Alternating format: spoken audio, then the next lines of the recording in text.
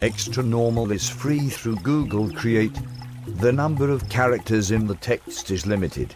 And some features require real money. But real easy to create movies with multiple characters, music, effects, you name it.